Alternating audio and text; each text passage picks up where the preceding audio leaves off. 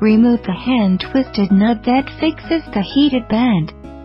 Take the heated bed down and put it aside for later use. Be sure to collect the springs and hand-twisted nuts under the heated bed and do not lose them.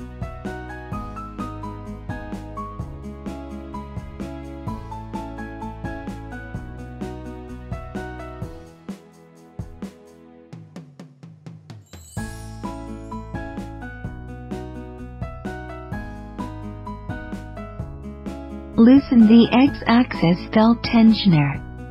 Remove the two ends of the Y-axis belt from the slider plate.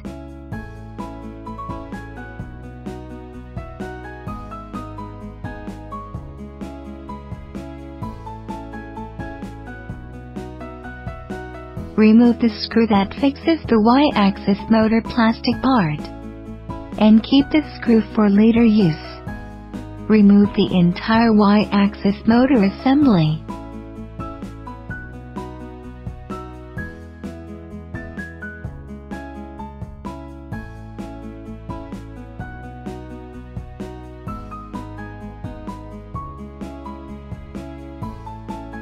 Remove the slider plate from the Y-shaped profile and disassemble the screws and four POM wheels on it.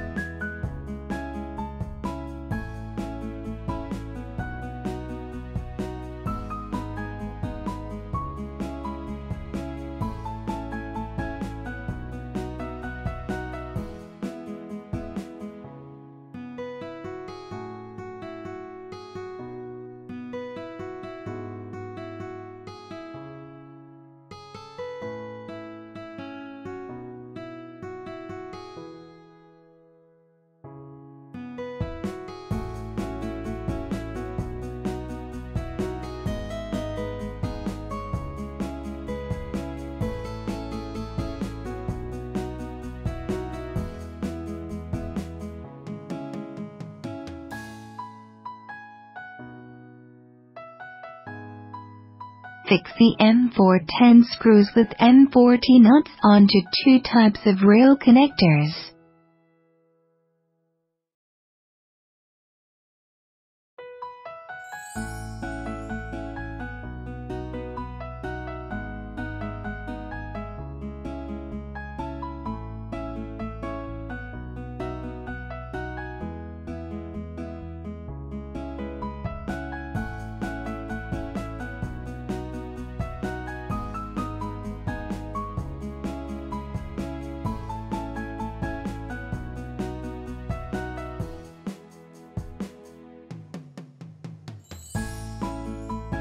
First, fix the guide connecting piece, the smaller one, with screws onto the Y-shaped rail.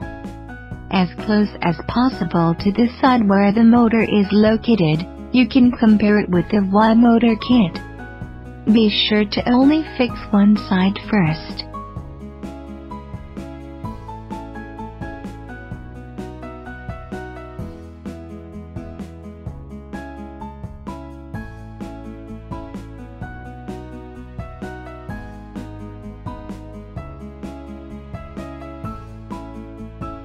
Then use M36 screws to fasten the linear slide rail, the smaller end, onto the guide connecting piece, but do not tighten the screws yet.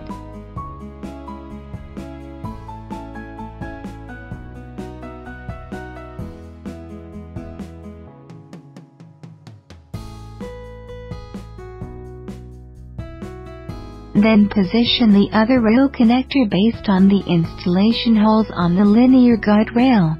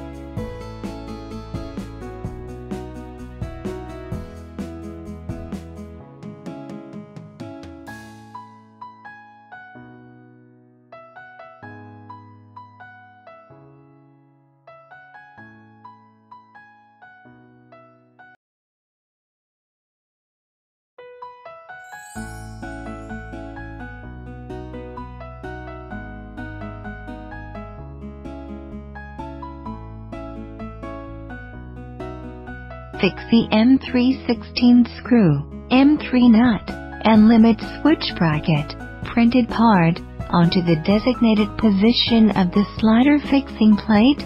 There is only one, and the screw should be facing towards the Y limit switch.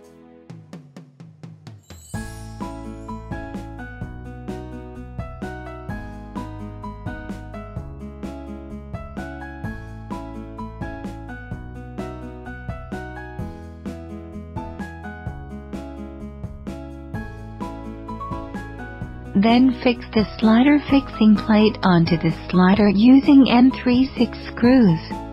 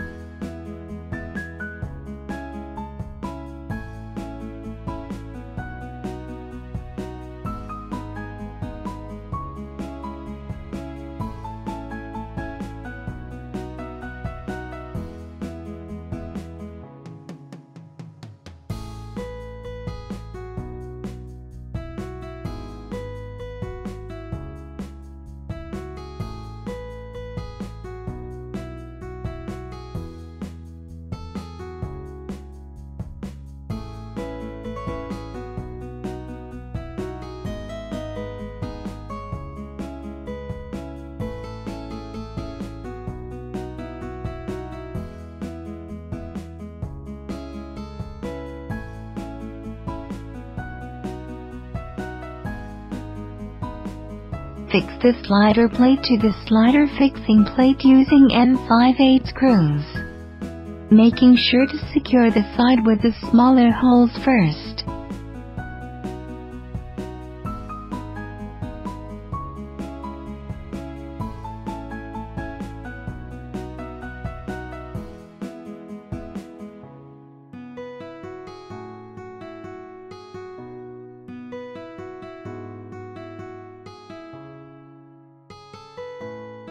Remove the Y-axis motor.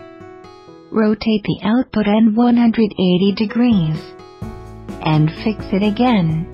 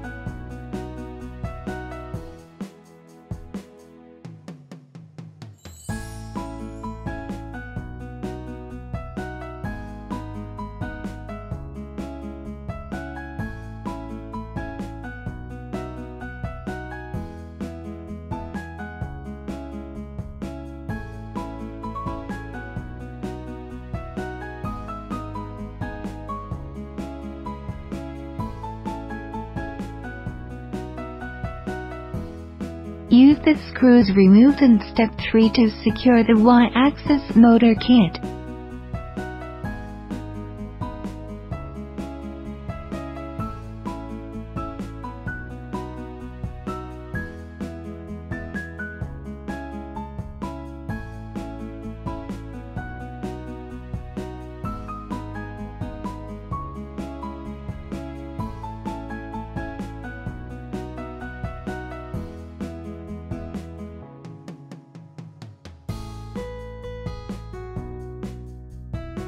And connect the Y limit switch and Y motor cable.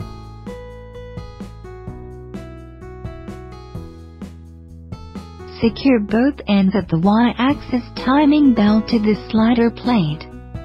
And adjust the tension of the Y-axis timing belt.